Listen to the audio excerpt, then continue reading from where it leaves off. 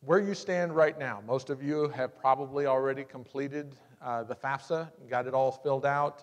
Uh, if there was any information that was requested from our office to complete what is called verification, that is a federal process where uh, they randomly select different FAFSAs and ask uh, the schools themselves to collect information from the families and just verify certain pieces of the FAFSA because there is a lot of information that, that uh, has been submitted on that FAFSA. So hopefully you've gotten all that done. Uh, once that's been completed, uh, as you're aware, the FAFSA is a generalized form from the standpoint of trying to be able to use a formulation that'll be standardized enough to help process aid eligibility for over 27 million students that'll be attending college uh, each year. But of course, as we all know, not all of those questions get answered exactly the same by you all. Everyone has their own individual uh, scenarios, circumstances that may come up. So if you've had that scenario, those scenarios like uh, one of my, you know, one of the parents lost a job, or you had excessive medical bills, or some other things along those lines, colleges have the capability to evaluate your special circumstance uh, in the form of collecting some supplemental data from you. We'll com complete that uh, process, and we can be able to make an adjustment to uh, the student's FAFSA to determine if there's a change in their eligibility, which may make you know, more aid available for everyone. Uh, now, whenever you're, you're filing your FAFSA, it provides you with uh, a result. It's a numerical result called an EFC, an expected family contribution. That is basically the federal government's determination using that standardized process to determine how much funding you as a family can be able to contribute towards your student's education. Now, by a show of hands, how many of you actually believe that the EFC number that was provided on your FAFSA really was the amount that you could be able to provide? That's kind of what I thought. I don't see any hands up. So, like I said, it may not necessarily be exactly the way your situation you feel it might be, but that's where the communication comes in line to where when you contact the financial aid office, uh, you can talk with myself, Tim Wolf, uh, my other staff members. Uh, we're more than happy to try to help address your scenario to see if there might be some eligibility for some other um, aid options to be able to help you out. And then once we've done all of that, you should have received an award letter. From the beginning freshman standpoint, you would have received uh, an actual paper letter in the mail, and it would come in a, in a large envelope with a number of other inclus- uh, inclusions within that, uh, that mailing.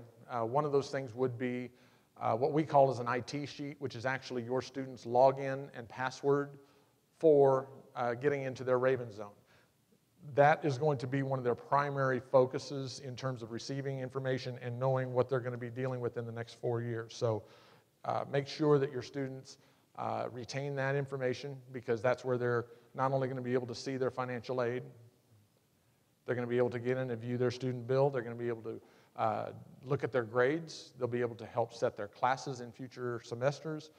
The Raven Zone is their connection point here on campus. So they need to make sure that they're retaining that information with them. So what we need to do now, the students have got their, their award letter. They need to make sure that they've gone in and accepted that award letter. Now, on the award letter, there are two different types of aid that will be on there. One is called gift aid. Everyone likes gift aid, right? Everybody wants free money, right? That's the best thing. No one's going to turn that down. So, from that standpoint, we're going to look at the gift aid is going to be on the student's account ready to go. But there will also be some student loans if your student is eligible for student loans. With that, we will be required, we are required to make sure that if a student wants to utilize their student loans, they have to tell us that they want that. So by that means, they will have to go out to the Raven Zone and they'll go into the section that's called their student self-service. That's where they'll be able to view their award letter. They'll need to go in and accept that award letter. And then there's another step where they'll have to actually sign it. That is their official notification that, yes, I want these, these, uh, this entire loan uh, award package, whether they want the loans or not, they can accept or decline the individual components. So we will need to make sure we have that done in order for us to be able to process their financial aid in time for the due dates that Becky will be talking about with regards to uh, the student's uh, billing account. Now, if, if any students, we've, we've been very fortunate here at Benedictine College. We've, we've got a lot of really bright, smart kids. They are going out and they are finding opportunities to look at not only what can Benedictine College provide in terms of uh, scholarships, maybe there's federal, federal and state grant availability, but many of these students are going out and looking at outside sources, you know, going to the Knights of Columbus, the Kiwanis clubs, all of the local entities that they have the opportunities to access, and they're applying for scholarships. If your student has done this, they would be, if they receive this, those scholarships, they'll get some kind of a, usually a notification via the mail. There'll be some kind of a letter that they'll receive saying, congratulations, you have received the XYZ scholarship, and it will be for the amount of $1,000 or whatever it might be. In order for us to help process that, many of these entities will send the checks to the college or they may send the check to the student, but it'll have the college's name on it. So, from that standpoint, what we would ask is if you would please forward to us a copy of that letter. What we will then be able to do is add it to their award letter so that way we can have a tracking of that so when the, when the check actually comes, we can get it applied to the student's account quickly because we don't want to delay anything if at all possible. So the more information we know about that, the more we appreciate that and we can make sure that your student is being taken care of. So anything you can do there, we appreciate. Now, if your student is going to be utilizing student loans, of course, within the media right now, we, you know, over the years, we've heard how students are just being laden with so much student debt. Well, the one thing we want to make sure of is that this is not the case from the standpoint that, that the college is just saying, here, you've got a loan, you've got to take it. And someone says, well, I didn't know I was taking a loan. That's not going to be the case. So, what we end up doing is there are a couple things that a student will have to do proactively to make sure that, yes, they do understand that they are taking a loan, and we need to make sure that they understand the ramifications, their rights, their responsibilities that come with having that student loan. So the first thing that is done is, is having their uh, entrance counseling completed. It's a federal process, and what will happen is they will go out to the website is Uh, www.studentloans.gov. That's a plural, studentloans.gov. And we'll refer to it here a little later in the presentation. But within that website, the student will log in to that federal website with the same FSA ID and password that they used when they filed their FAFSA. So everything that is relevant on the federal side, they're trying to keep everything consistent with one login and password. So the student will go out and complete their entrance counseling.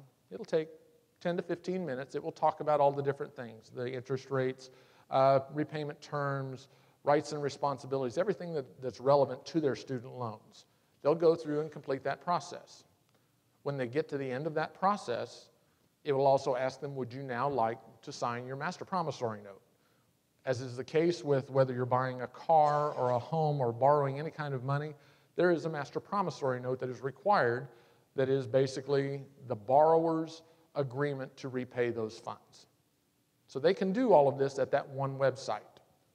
Once that's all completed, within usually 48 hours, the college will communicate with the Department of Ed asking has this student completed their requirements? We will get notification back from the Department of Ed. Once we have that notification and their signed award letter saying that they want their student loans, we can process their loans accordingly. And we can get them on their account uh, quickly uh, within the appropriate time to be able to help meet the deadlines as with their student bill. Now, on the student's award letter, the, the aid that they've received, their grants, scholarships, uh, student loans that they've accepted may or may not cover their entire bill. Whatever's left over, according to the Department of Ed, is the responsibility of the parents. Congratulations. But from that standpoint, you know, now it becomes a, a, scenario of what are my options? Now, what we've done on your award letter, on your student's award letter, is we have applied what is called a Parent Plus loan, P L U S stands for Parent Loan for Undergraduate Student. That is a loan, a credit based loan that a parent can take out on behalf of their student to help pay any remaining educational expenses at that college for that year that may not be covered by the student's uh, student loan eligibility, their grants, and their scholarships. So if the parents would wish to do that, they will go to the same website, studentloans.gov, and they can be able to apply for the Parent Plus loan much in the same manner that the student will end up doing their entrance counseling and signing their master promissory note. One key factor if you are considering the Parent Plus loan option, when you would go to this website, you need to make sure that you are logging in as the parent, not as the student. So don't use the student's login as they use for the password. You will use your login that was used to help sign your student's FAFSA. So make sure that you're, you're following through. Every year we see some scenarios where uh, it shows that the student is the borrower instead of the parent being the borrower. When we see that, we have to decline that. That is not an eligibility thing. So with that, please be aware that that needs to be under the parent's name. Um, now, some parents say, this is my student's education. This is their responsibility to pay for. So I'm not going to take a parent loan out. This is their thing. So if that's going to be the case, another option that's available is what we call an alternative or a private loan. These are loans that a student can take out through an entity such as uh, Sallie Mae, Wells Fargo, uh, Discover, the credit card company, they have a student loans division. These companies provide student loans that can be taken out by the student instead of it being falling on the parents. But keep in mind, in most cases, these loans will require the student to have at least a two year credit history. And that's not usually going to be the case when it comes to an 18 year old student. So while the parent may not have to take out the Parent Plus loan if they don't want to, you might want to consider as to whether or not you're willing to co sign for that student loan. It would require a co signer. And the interest rates on those loans, depending upon who the, the uh, lender is, is usually dictated by the credit score of that co signer. So I had a question yesterday from, from a parent well, if we get a, if, if my student gets a private loan and the interest rate is better than their unsubsidized loan, can we just do that and not do the unsubsidized loan? Absolutely. Those are options that are available to you. You know, ultimately, the issue is you're, you're going to need to determine how is it that your students' education expenses are going to be covered. So we're more than willing to work with you on any manner that we need to be able to do that. To give you a little bit of background, uh, many of us as parents, I say parents, I've had already had three kids go through college right now. Uh, if we've attended college, we remember the Stafford Loan Program. program. It is now referred to as the Federal Direct Student Loan Program because the Stafford Loan programs, you could choose who you were taking the loans out through. Now everything is run through the Department of Education. You apply directly through the department, and that is where everything's taken care of, and then they will assign that loan to uh, someone who will service that loan for the student. Uh, there are two types of loans that a student can be qualified for. It is going to be a subsidized loan and an unsubsidized. The, the difference between the two, the interest rates are the same. The repayment periods are the same. They won't have to make payments on these loans until after they've either graduated or they've uh, become enrolled less than half time, which means less than six hours. So if a student decides to take a semester off, then that six month uh, ticker is going to start rolling for them. So they need to be aware of that. So those, those two aspects are exactly the same. The, the main difference between them is the fact that with the subsidized loan, the interest that would normally accrue is paid by the Department of Education.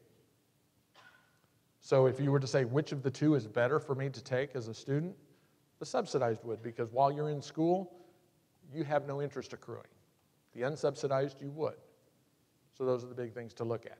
At the bottom of the screen, you'll notice there's a reference over the past couple of years, the Department of Ed has implemented an origination fee that will come out of the student's loan proceeds.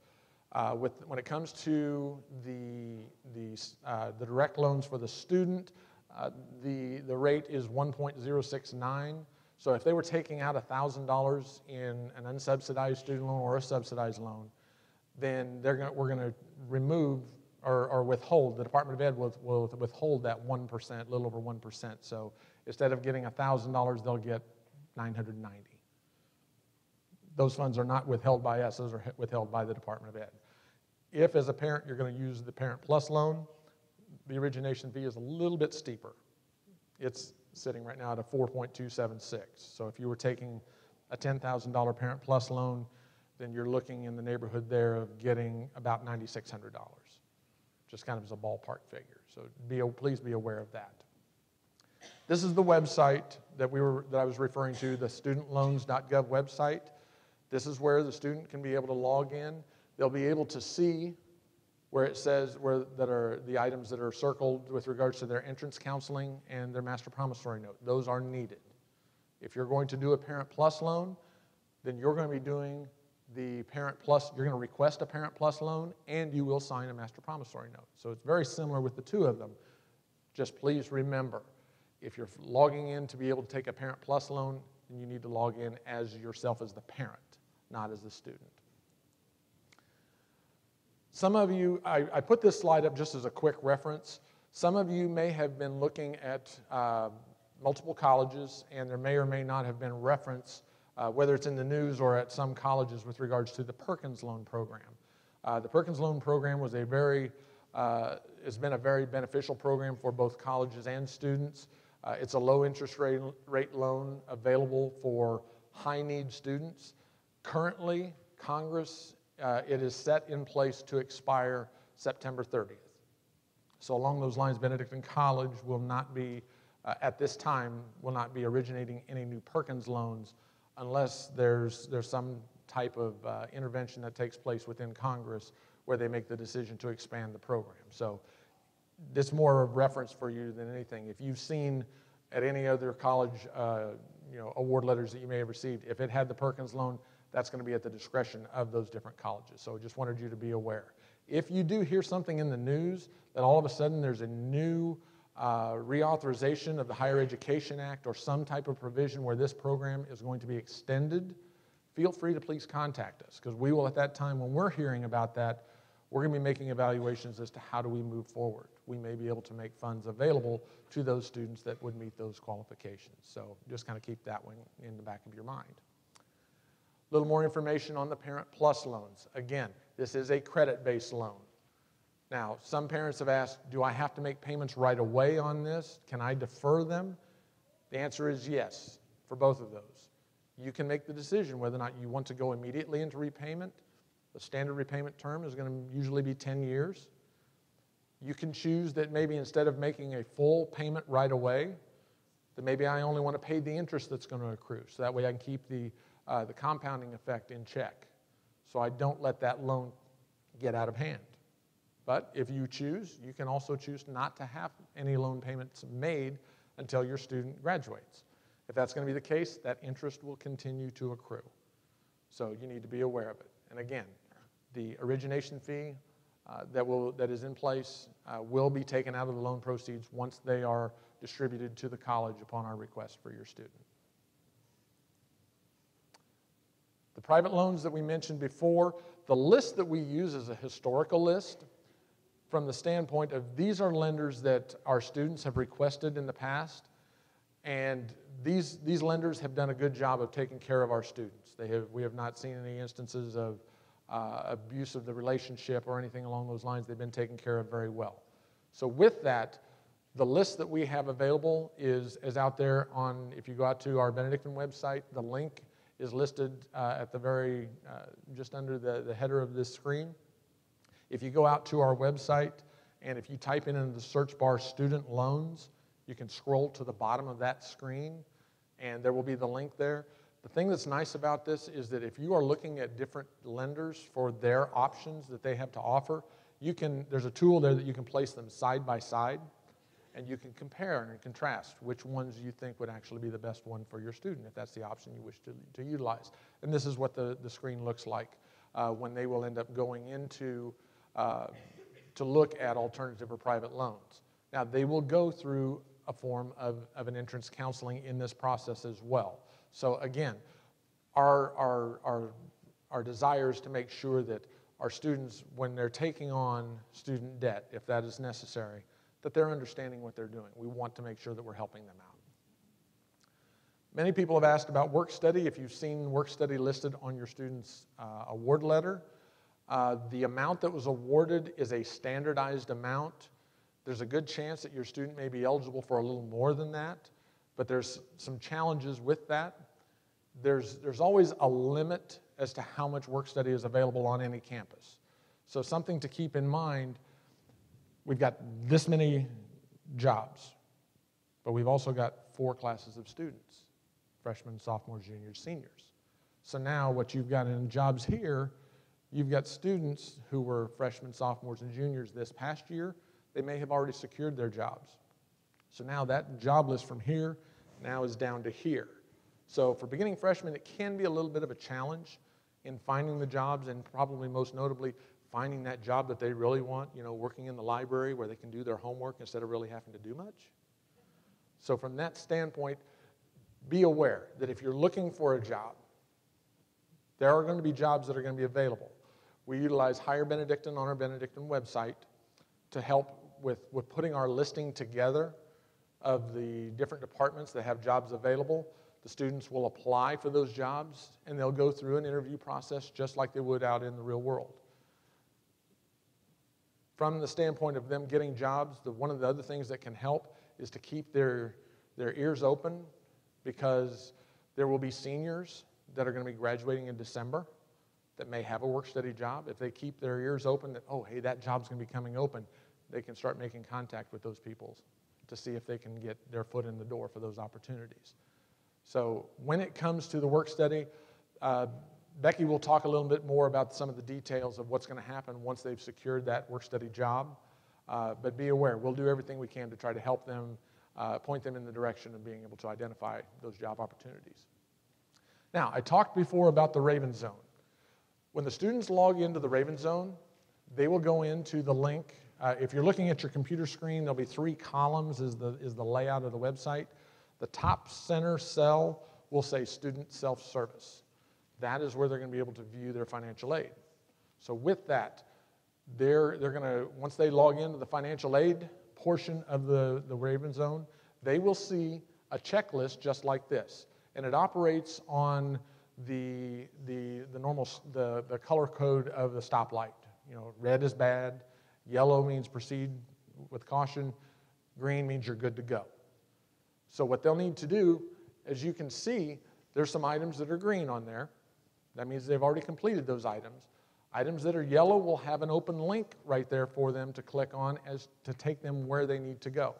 Now, what you're seeing on the screen right now, and it's, it's hard to see right now, I understand, but the top one basically is telling the student your award letter is ready.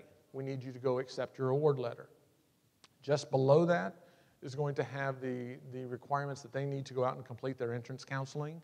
And then the one below that says you need to sign your master promissory note. And then the very bottom one says you need to sign your award letter. So as they've completed these things, these items will check off. The signing their award letter and accepting them, they will check off immediately once they've completed them. The entrance counseling and the master promissory note, once we get communication from the Department of Ed, those will come off. So the big key you really want to be looking at here, do I have everything green on my checklist? This is going to be the key. And in many cases, if, you, if the student calls or if you call, one of the things we're going to be pointing towards you, you know, well, is there, if the question is, what do I need to do? What does my student need to do? Have you checked the Raven Zone checklist? That's going to be the first thing we're going to point them to because those are going to be the keys to get them processing through like they need. Now, not only on this screen can you be able to view what they need to do on their award letter, but they can go in up in the top left corner and they can view uh, from any of these options. They can see a, a copy of their award letter. If you need to print it off for awards night at the high school or your own benefits, you can be able to have access to that information at, at your own discretion. So it is right, right there for you available. So from there, that's my section of the program. I'm going to go ahead and bring Becky up. Um, Becky Miller is the bursar up in our business office. Uh, like we said before, once when she's uh, finished, uh, we'll come back up and we'll have our question and answer session. Uh, if you've got any questions, please feel free to contact anyone in my office. We're more than happy to help you. That is why we're here. So I'll go ahead and turn things over to Becky. Thank you, Tony. And welcome. My name is Becky Miller. I'm the bursar here at Benedictine College. I'm in the business office, um, specifically over student billing and cashiering. Um, so we're going to skip over. So how can the business office help you? Before I jump into this, I'll let you know, uh, Tony's right. They work on awarding the financial aid, and we do work on taking it away from your student. That is kind of our job. But we want to make sure when, when we're done with this, you understand your options for making payment. Um, if you have any conversation you need to have with us, Tony referenced, sometimes circumstances change in a family. We want to be there to have that conversation with you to get your student off on the right path. So that's really the goal of this. I'm also going to ask anybody, anybody get their sleep shortened last night from the rain we had? Me too. So this is pretty, this is pretty technical stuff Tony and I are going through. This document, you all have a handout and you have a Raven Zone handout. Take it home, look at it. It's the exact same presentation. Um, there's a lot here. I'm not expecting everybody to catch it the first time. Our contact information is at the end. Uh, please reach out to us. I've got a great staff. Our offices work very well together. Um, a lot of people confuse our offices, aren't sure where one begins and one ends, which is a compliment, I think, to how well we work together. So please let us help you and your student be successful in their transition to Benedictine College. So that being said, I'm going to visit just a little bit about the payroll and human resources, which is also in the business office, but not really something that I handle directly. But I, I bring it up because I'm a parent of two students as well.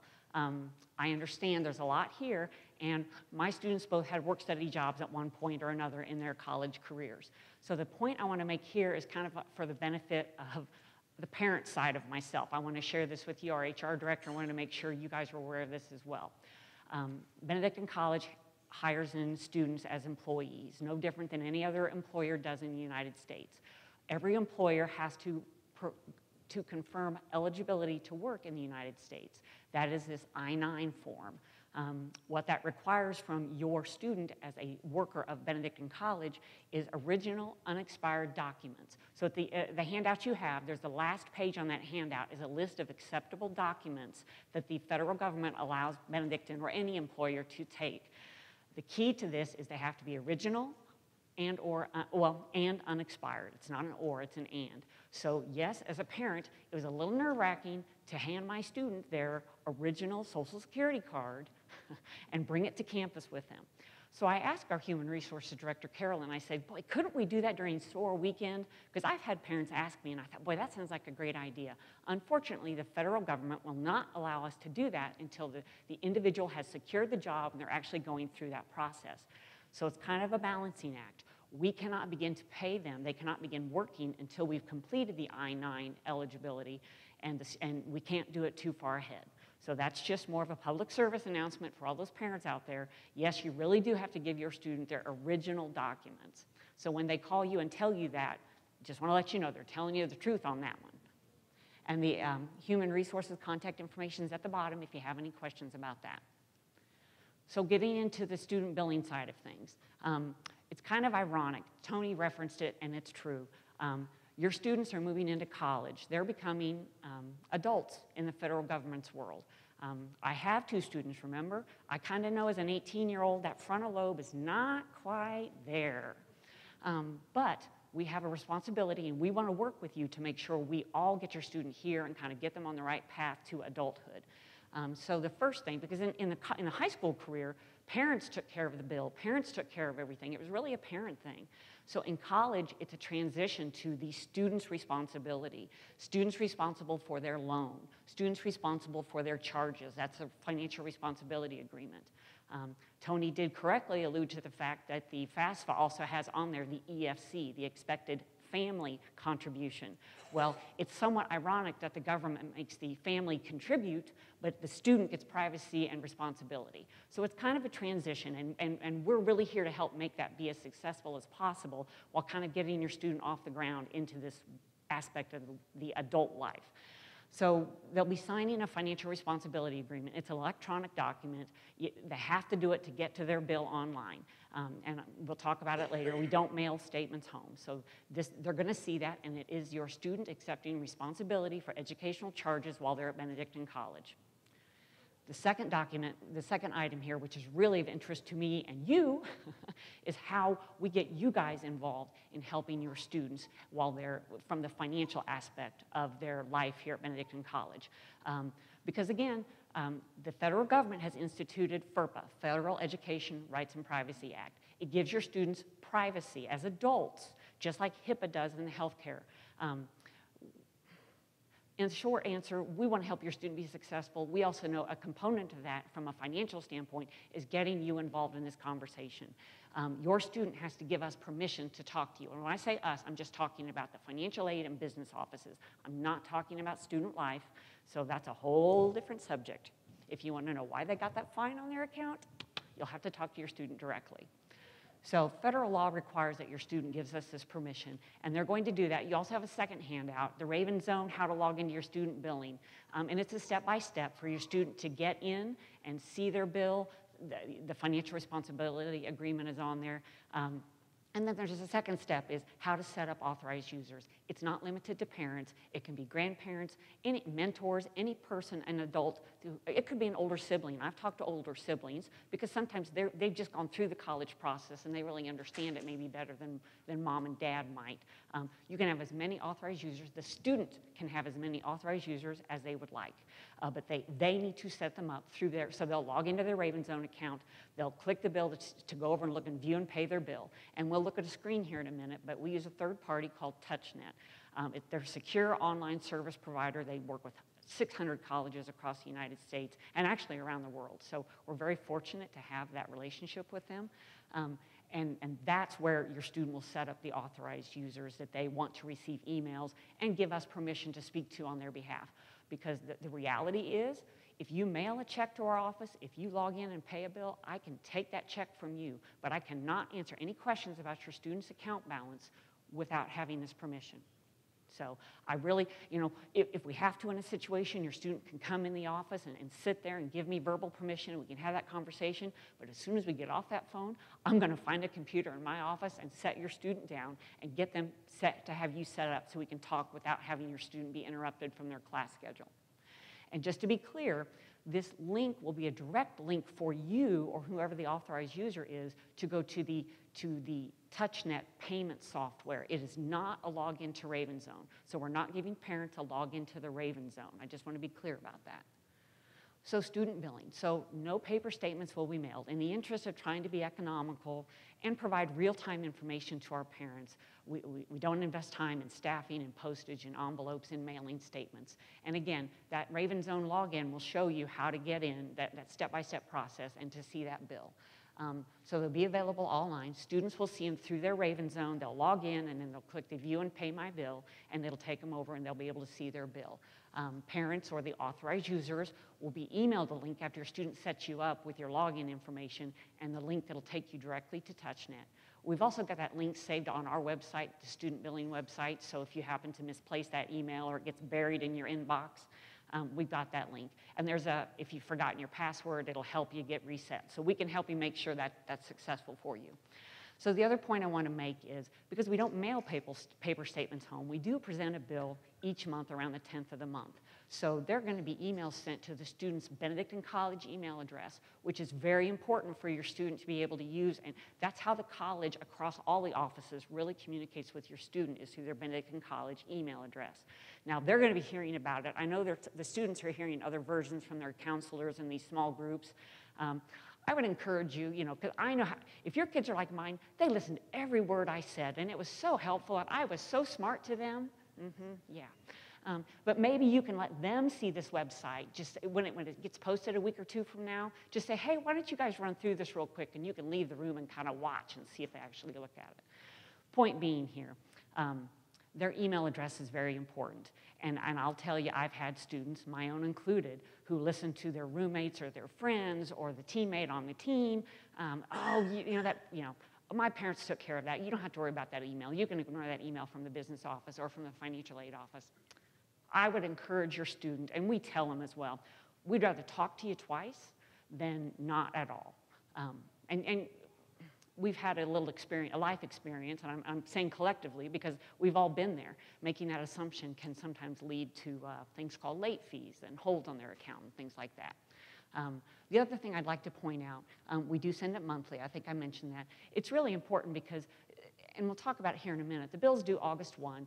You, know, we're going to present it the first week in July. You're going to think you've got everything set up, and you're going to say to your student, hey, we need, you know, we're going to go ahead and take your subsidized loan. Go out there and do your loan insurance counseling, master prom. And they're like, I got it, I got it. I'll do it tonight. I got, I got to go to work. I got to go, you know, somewhere this summer. I got to go hang out with the friends one more time. I'll do it later. Okay, so here comes August 1, you know, you've paid the balance or you've set up the, you know, you, you've taken care of it. Well, all of a sudden around August 10th, you and your student, because you're an authorized user now, right? You're getting this email from the business office. And you're like, wait a minute, what is this email? We took care of this. So you log on maybe to the bill and you see, so there's some pending aid, but gosh, the loan's not pending there. What's the problem? So you log in and, and, and maybe ask your student to look in their Raven Zone at their financial aid. And you can see, oh, they kind of didn't sign a master promissory note. You know, maybe they did one piece but not the other. So those online resources are really helpful. So that way you don't have to wait till business hours to talk to us and see what's going on with your student's account. But that's why I always encourage students and parents. We love that authorized user email because when we send that email to the student, the parent or the authorized user gets the same email. You know, it just tells you there's a balance, it gives you the number at the bottom, um, and then we're ready to talk to you about that. And we find that that, that relationship is the most successful to help the student be successful, help the parent get some peace of mind, and, and just avoid those late fees and things like that. Um, there is text messaging available in TouchNet we kind of like that for a couple of reasons I'm going to talk about related to our installment plan. Um, I will warn you, uh, it goes out at 12.05 a.m. I get those, so I know, I know when they go out. That's an automated process they have. The student enrolls whoever it is. So, um, but I find it kind of helpful sometimes to get that text message when I'm on the go because I'm not always checking my home email at night. Uh, and then the other thing, um, just talking about the two different types of statements that TouchNet offers. We load a bill like I said, uh, first week in July, we'll be loading the bill for the fall. Um, and then we, we present those monthly. So that's when I say static presentation, it's like your credit card statement. It's at a point in time. So it's a, it's a pretty bill. It looks nice and it's all laid out, you know, nice and pretty. The account activity is anytime you log in. So if your student changes, adds, and drops a course, that's going to be real time, and you're going to see that real time current balance and the impact of that. So that's why we like both of those views. So payment deadlines. Okay, so in high school, it was an annual bill. In, you know, you got your financial aid, it's an academic year. So you're seeing numbers on a yearly basis. Well, when it comes to billing, your students enrolled by semester, we bill by semester. So that's really important to kind of understand. This is where we start going on a semester basis. All your aid's going to be divided in half and applied like that. So, so those numbers you've seen annually, divide them in half. Um, and the bill or payment plan for the fall semester should be set up or paid by August 1st. Now we have different payment options we kind of talk about. And in the next slide, I'll talk more about the semester installment payment plan because I know that's of interest to a lot of our families. But I just want to point out again, you can log into your student's RavenZone account, get to view and pay a bill, pay it that way, um, or as an authorized user, you're going to have that link, direct link to TouchNet, and you can use that link to make the payment. Um, we do take uh, e-checks online. We also take, you know, the credit cards listed up there. I will be real clear because I get this question every year. Um, Benedictine College does not pass along convenience fees to our families on the credit cards. I will be real honest. Yeah, I saw, yeah, I, really, that's a big deal. That's a very big deal. We understand the importance of offering payment options to our families. We get that, we really do. Um, I'll be honest, um, KU, K State, all the Kansas State institutions, they absolutely can and will. We're a private college, and Kansas doesn't allow us to do that, the state, so we don't. But we understand its importance for our families to have those options. Um, we have a lockbox with our bank. That's the P.O. box number you see there. So when you mail a check, it goes to our, our the college's bank lockbox. That's why it's in Kansas City, Missouri. Please include your student's name and ID on that because we get a volume of payments that way. Um, a lot of families have 529 plans or grandparents, which is a great thing. We're very happy to work with you on that. Um, I know if you're in Missouri, uh, MOST is, is their acronym for their uh, 529 plan. A lot of them will mail to our lockbox, so that's easy. You know, you'll, you'll take care of that and just tell them what amount you need and send it that way. There are states where Benedictine has to get involved and we have to send things. Illinois, Florida, Texas. Um, reach out to, so at the end of the, at the end of our slide, Laura Hammersmith, she's our cashier. She is the one who handles uh, managing our 529 plans where the college has to submit something on behalf of your student. So please reach out to her. She's got an email and phone number, very helpful, and she's very knowledgeable. Um, we want to make sure we get that done right for you on a timely basis. Um, We'll talk about payment plans in a minute. I just want to, that last check mark, if you haven't set up a payment plan or your student hasn't set up a payment plan, hasn't paid the balance, hasn't gotten their loans kind of showing as pending aid by August 1, um, we'll put them on hold. What that means is they can't add or drop classes at that point in time without talking to us. And again, if you get the email about the hold, it's because there's something that's missing, some piece. So I would double check their loans. I would double check, you know, was there an outside scholarship you turned in for your student that maybe isn't showing yet? Um, so just keep be aware of that. Late fees get applied the 25th of each month. So we send an email about the 10th. If you get the email or your student on your student's account, reach out to us. You know, talk to your student. Make sure you resolve that before the 25th of that month because late fees do go on. We really don't want to put late fees on, by the way. We really don't. Um, so payment plans. We, again, by semester, four or five month plans are available each semester. Uh, the five month begins in July, the 15th of each month. Um, so when we, when we present those bills around July 5th, um, they'll be online. We'll email all the student BC emails. We'll email the authorized users and say, hey, go look, your bill's ready. Go set it up, check out your charges, make sure your aid's where you want it. And this is kind of the nice piece. Tony mentioned the outside scholarships. And we are blessed here to have a lot of smart students, and, and, we really like that about our student body. And one of the benefits of that, that you like, your students worked hard, they got some outside scholarships. So maybe you don't have a check in hand, but you send in that letter and financial aid has documented that, that's going to lower your balance, your because we, we show it as pending aid. And that's really a nice feature that, that I don't know if all colleges do that, to be honest. Um, but we want to help our students lower their installment plan, lower their total balance due, um, because some of our students get pretty nice scholarships. These are awesome scholarships. So just the key is getting that documentation. I had a parent email it to me this past week, and maybe they, because I talk about it here because it, it lowers the bill. I just sent it right on to financial aid. Um, and, and, so it does, again, we're, we work very well together. Our goal is to get that balance as low as where you want it to be to get the balance taken care of. So um, payment plans, as soon as we send that email, you can enroll. The point I want to make related to payment, there's an application fee each semester. The payment plans don't accrue interest. Um, they're due the 15th of each month. Late fees go on the 25th, just like our other late fees. Um, the one limitation of TouchNet, our third-party software, is that whoever login does the enrolling in the payment plan is the login, is the email address that gets the notification of the installment. Now, you can set up automatic payments. You can schedule payments so you don't have to think about it again.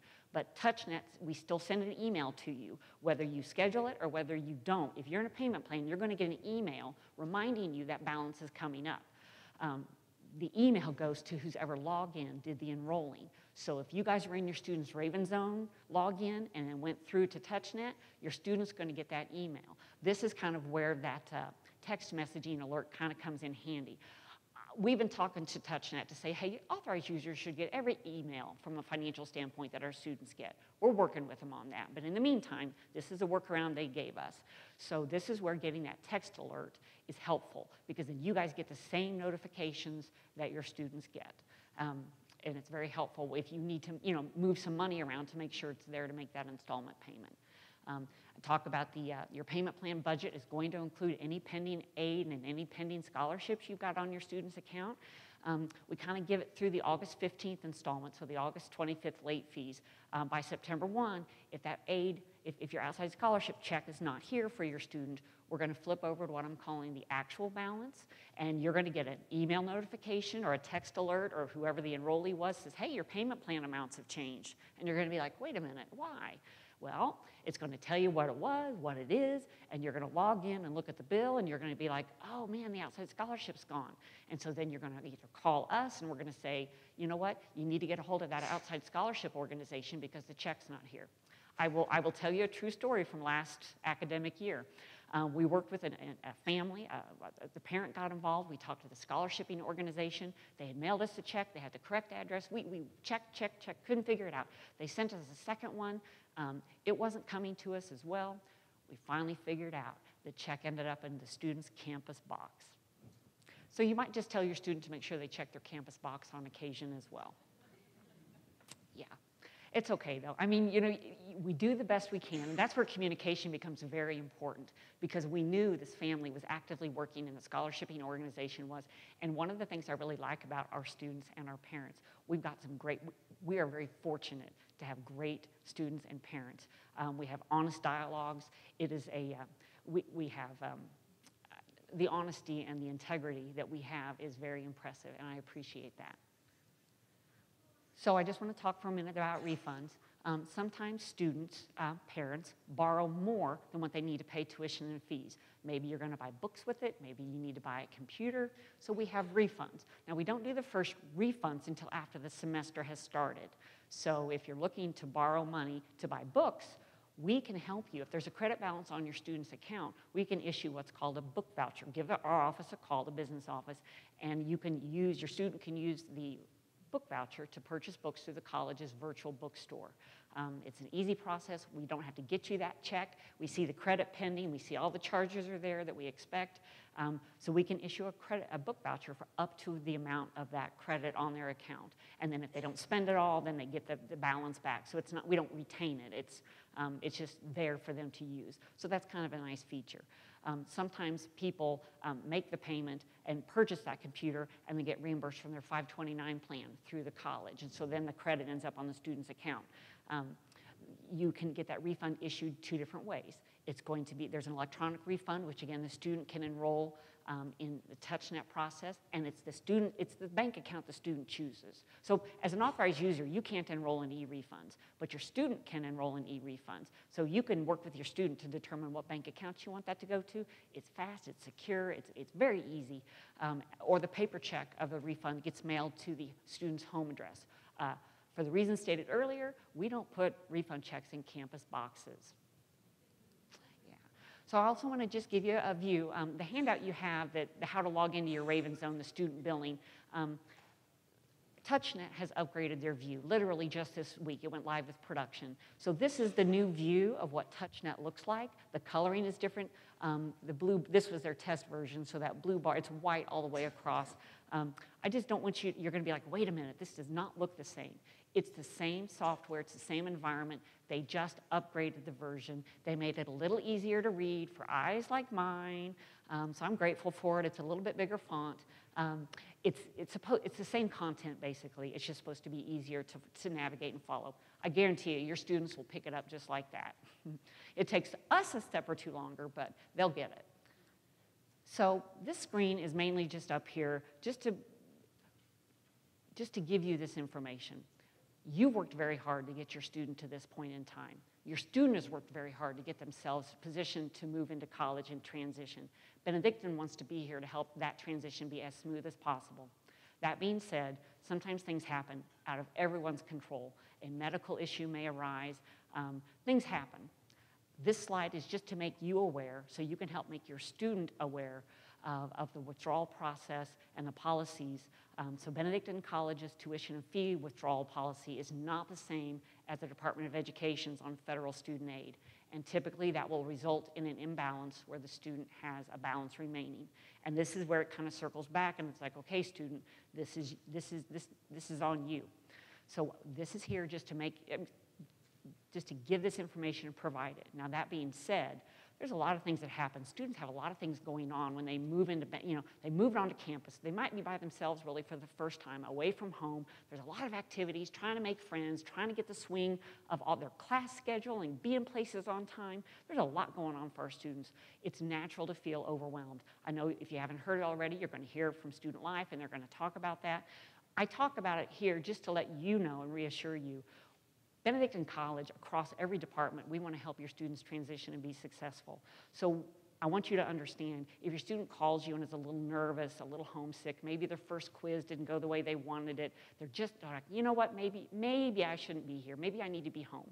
Say, wait a minute, you know what? We've got a student success center here on campus. It's right by the dining hall. Hey, have you swung down there and talked to them? What about that professor? Have you talked to them? You know what? Our professors are great and they want to work one on one. Both of my students have talked to professors. It's the way it works here. Professors want to help your students, they want to be available. They've got upper level students who are tutors for them. You know, there are study groups. These are just things to be aware of. Um, we, you know, the RD and your, and your, the residence hall director, your RA is a residence hall assistant. They are students that live on the floor with your student, so they're like a year older usually. They've got that experience. They can talk to them. Um, if they're on a team, an athletic team, uh, the coaches are great resources. Um, you know, older, at you know, the, the, the, upperclassmen are great resources. Um, we have a student health center that has a, a nurse, that has counseling. Um, it's at no cost to your student. There are so many places that your student can go talk to somebody just to get kind of recentered and refocused. Encourage them to use those resources. Encourage them just to, to they'll work through it and they'll be fine. It's normal. It's very normal. Um, just encourage them to, to stick with it. They can do this. It's like I tell my kids all the time um, college is more like a marathon. This is not a sprint and, they just need to manage and pace themselves and be successful. Um, is it a perfect thing? No, but just let them know it, it, we're here to help them be successful at this. We want to see them graduate and walk across that stage just as much as you do. So I want to talk a little bit about Raven Bucks. Um, so your student's going to get an ID card, um, and that ID card is going to have several things on it, on, on the, the swipe. Encourage your student to treat it like a debit card. I mean, secure it the same way. It's going to have their meal swipes on there. It's going, and, and, and, the meal plan comes with something called dining dollars. A lot of people have questions about this. We'll talk a lot about it here. Student Life will talk about it. We'll talk about it at Move In Weekend in August again. Dining dollars come with the meal plan, the 18 meal plan your student is assigned. They're going to get $150 each semester.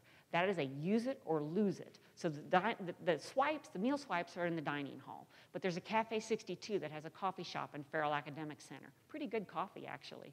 Um, there's a Monte Casino in the MCI, the restaurant in Haverty Center. Um, those take our students' dining dollars. And those are dollars. It's only on campus dining. Um, you know, and it's 150, so they want to use that in the semester because they'll lose whatever is unspent at the end of the fall semester and they'll get the next 150 at the beginning of spring. Raven Bucks are purchased by your students. It is your student's account. It's also on their card, so they'll use one card for all of this. Uh, they'll need Raven Bucks to do laundry on campus, a dollar to wash, a dollar to dry.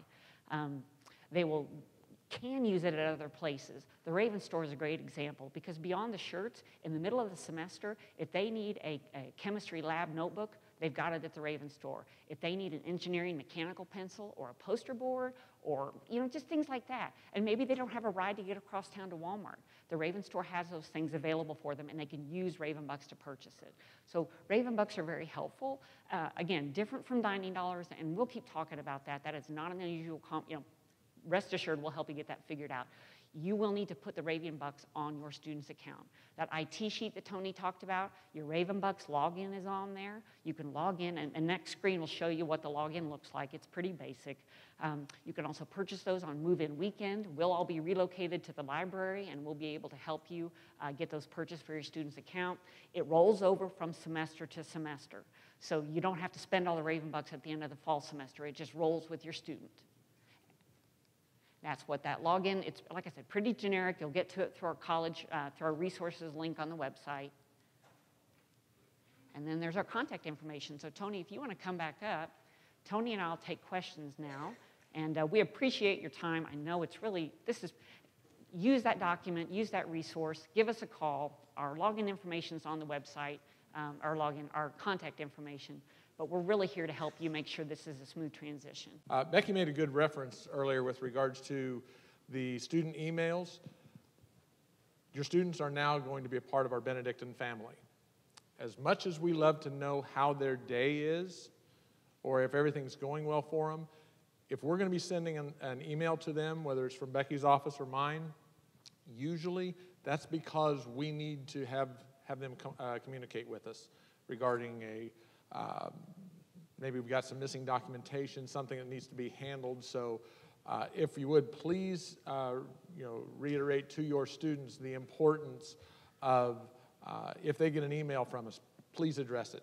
And, and we may need to make sure uh, we've got the capability to where the students have the ability to have their, their Benedictine emails, you know, forwarded to their Yahoo or Gmail or whatever we need to make sure that they are doing that so that way we are able to, to keep a good, good uh, communication flow with them. So we want to work with them. So um, I think what we'll do now is we'll open things up for a few minutes here for uh, for any questions. So does anyone have any questions? Yes, ma'am, right here. mentioned the virtual bookstore.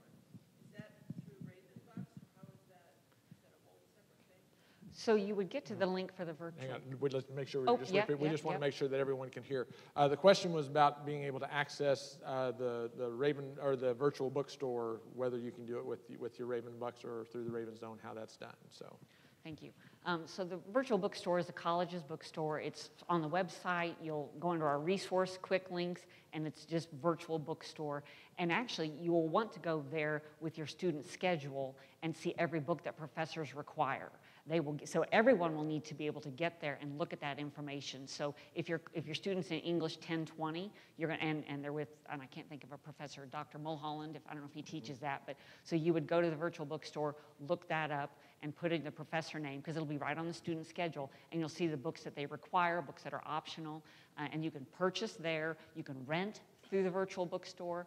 I know some families will go to Amazon, you know, so you'll have the ISBN number. It's real key to get that information from the professor, you know, that, that they want, and the virtual bookstore will have that information on it. So I think was your question directed to purchasing?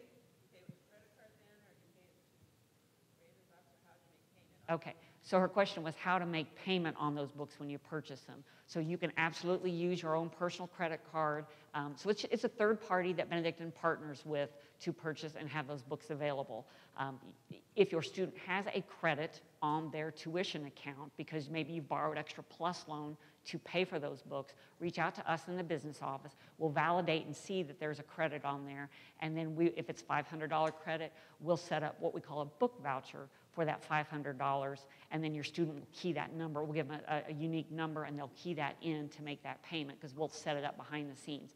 So Raven Ravenbucks, to your question specifically, are not available for purchasing books through the college's virtual bookstore, no.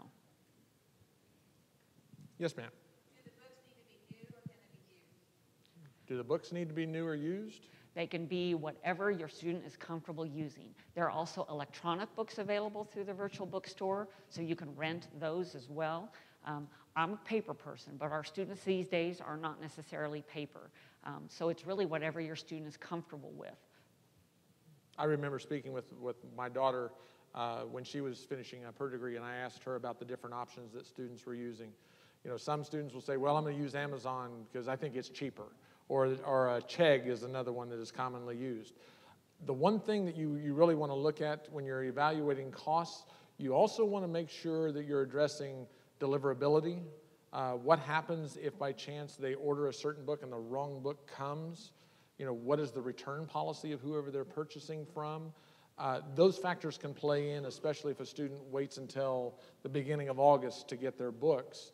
Um, you, you want to keep those things all in mind, not only just, just the dollars and cents. And a great point to that, Tony, is sometimes in this day and age, there's a lot of technology supplements to books. So if you purchase a used book, make sure it has any technology that comes with that book, whether it's an audio, I, I, don't, I can't even think, a clicker. I mean, I can't even begin to explain all the technology that some of these books have.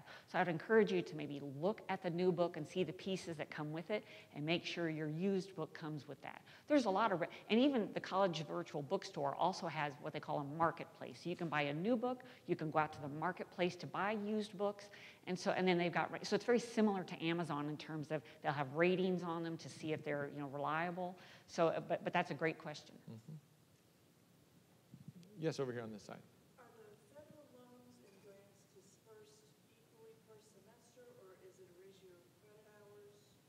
The question is, is how are the loans and grants from the federal standpoint uh, dispersed to a student's account?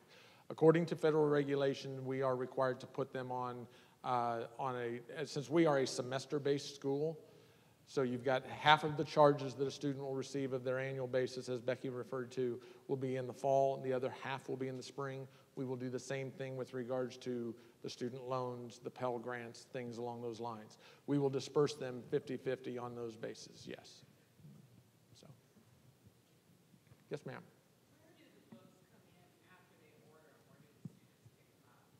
Where do the books come in once they're ordered? And that is a great question. So you can you can choose to have those mailed to your home address. So the bookstore should be open, um, and we'll put that in the email. I, I think July 11th is the date. We'll, we'll verify that. Um, so the virtual bookstore will be open July 11th. You can choose to mail them to the college. If you do that, make sure on the shipping address you put your student's name as well as the Benedictine College uh, mailing address.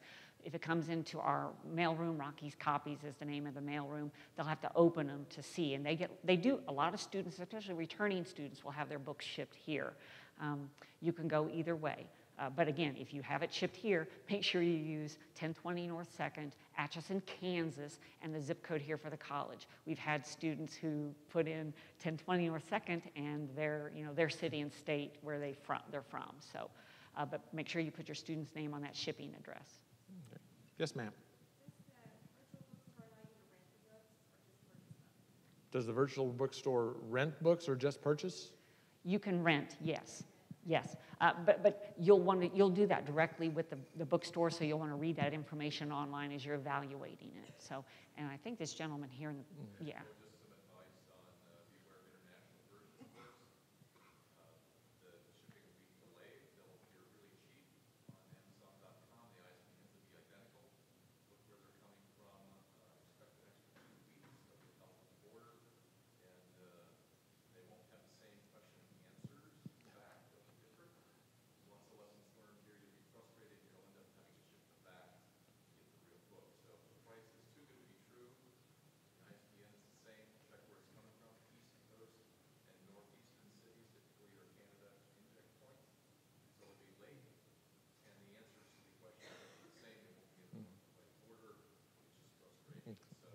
Great information. Thank you very much. Uh, As, if- for those of you who might not have been able to hear, be aware when you're ordering your books if there's an international version of it, because it may not necessarily be everything you're getting, especially if that price tag looks very attractive for you. So I.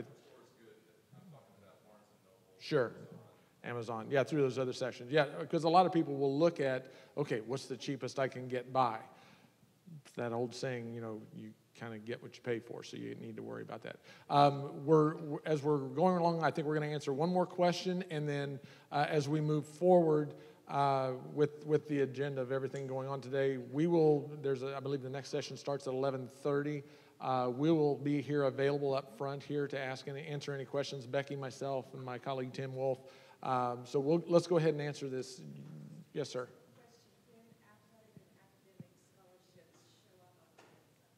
Okay, when, when do athletic and academic scholarships show up on the Raven Zone?